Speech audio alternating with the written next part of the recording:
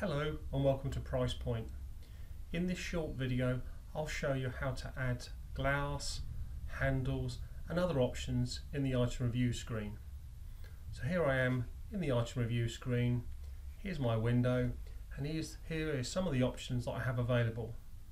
Across the top you can see other tabs that give me other options.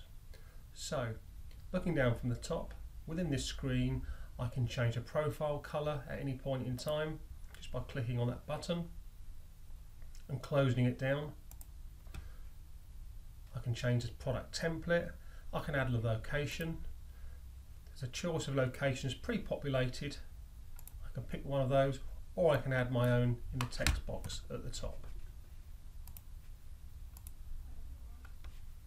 I can change the size if necessary and here is where I change the glass or add glass different glass designs so picking on there gives me the cho choice of adding toughened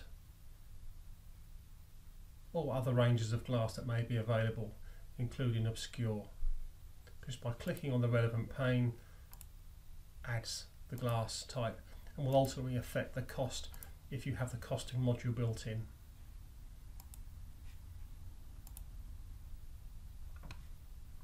Moving down we have glazing features including Georgians and leads which I'll show you on a separate video. Beneath that you may have options that allow you to change the outer frame size and the transom mullion depth. So in this instance we can change the outer frame we can change the transom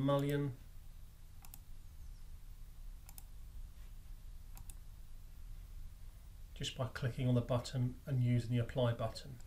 So going across the top, we then have the ancillaries. So I can add vents, night vents into the sashes. I can also change the handles. And again, you may have different uh, handle options which Pricepoint can load in the system for you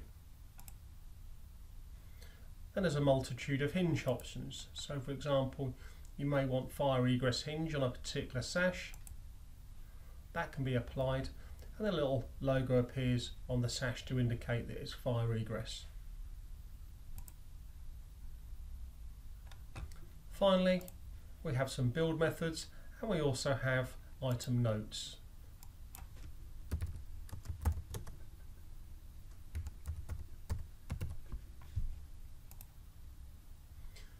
To get back to the main screen, all I need to do is click on the tab and it takes me back to the main screen.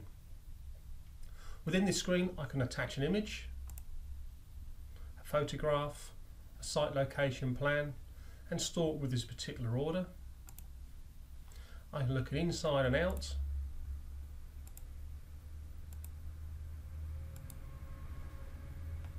and also I can look at detailed other information around the product.